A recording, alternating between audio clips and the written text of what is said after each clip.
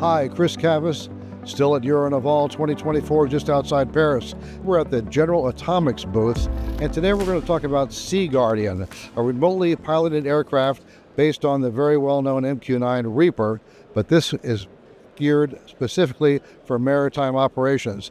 We're speaking with Christophe Taraz Fontaine. Nice to see you, sir. Welcome.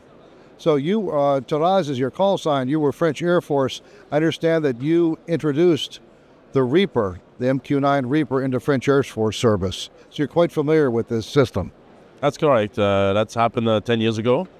Uh, and uh, what I can see uh, and say is that uh, we were very pleased with the system. The French Air Force was very pleased with the system. GA was very pleased with what the Air Force has been doing the last 10 years with the system.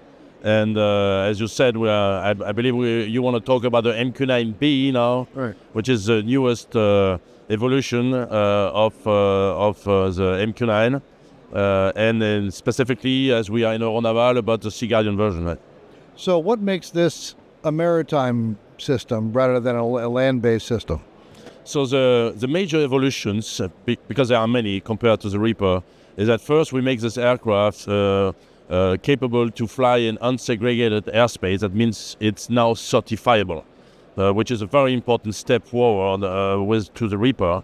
Uh, second, we make it more capable to operate in adverse weather conditions. That means now it can fly in, in a maritime environment, which is, which is completely different than the desert environment where the Reaper was mainly operating. Uh, and three, obviously, uh, we added more dedicated sensors to be able to collect data uh, above the maritime uh, domain, which means radars, uh, um, electronic uh, intelligence capabilities, uh, again, in order to continue to collect real-time data over the oceans. But this, this also is, has an attack capability. It's weaponized, correct? Yeah, so all our platforms are combinations of collect capabilities and uh, provide effects so uh, the same way we have uh, modified the sensors to adapt them to the maritime environment, the same way we have adapted the weapons to be capable to operate uh, over maritime domain and support the full scope of maritime operations. And the regime that it's intended to operate in, this is not, it's not just ISR and, and attack, but it's not ASW, is it? Not undersea warfare. So it provides an ASW capability in the sense that we are capable to deploy sonar uh, in order to be able to collect data on uh, submarines. So uh, yes, we can do ASW, deploy sonar monitoring the sonar collect the data, and like the Reaper, via the satellite data links, continue to to download this data to the chain of command uh, on the ground and or on the ships. So there are several countries around the world this is already entered service, recently entered service, hasn't been out that long. Where where's it operating? So yeah, it's it's a, it, has been flying for a certain, certain number of years. The air version called Sky Guardian is already uh, uh, operating in U- uh, United Kingdom and, and uh, very soon in Belgium.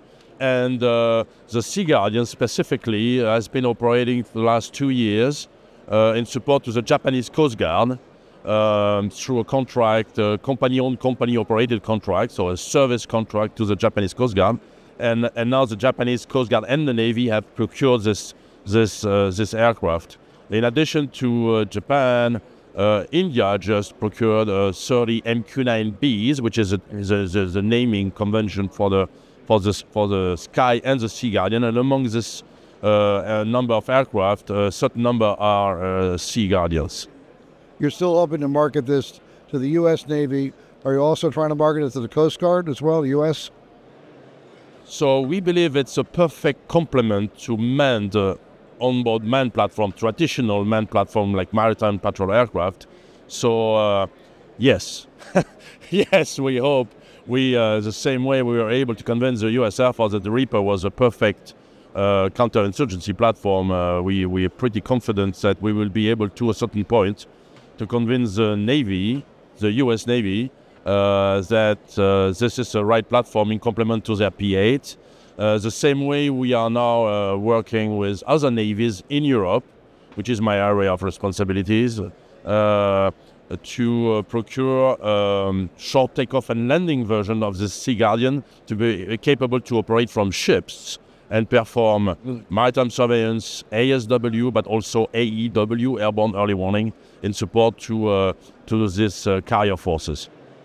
Now you are developing a short takeoff and landing STOL version of the Sea Guardian, and you, your test platform did a flight on, I believe, HMS Prince of Wales, a British aircraft carrier. Uh, that's correct. Uh, we did a demonstration with our Mojave uh, demonstrator, which was developed in order to uh, answer a requirement from the U.S. Army to have the capa- having a MALE capability uh, from unprepared runway and short runways, and uh, having this STOL, very specific wing, as you can see on the on the video, yes, makes this aircraft capable to operate from very short distances. So it's a much shorter wingspan. You've got leading edge uh, flaps on this. Exactly. That's that's the characteristics of a STOL wing, uh, leading edge and flaps, and that way you can reduce the landing speed to 40, 50 knots, which obviously on an aircraft carrier with a heading a heading wind helps you to to land in very short distances. So this kit that is currently being developed in support to some uh, navy's requirements uh, will en- enable the MQ-9B uh, Sea Guardian and conventionally by removing the wings, the tails, and, the and changing the propeller, so kind of a STOL kit you would have at the back of the hangar to transform a traditional MQ-9B Sea Guardian in a STOL Sea Guardian, and that way capable to operate on helicopter carriers so that we name flat decks. So uh, obviously, uh, this uh, should be of interest of many nations that are to have uh, to be capable to use this MALE platform from this uh, aircraft carrier.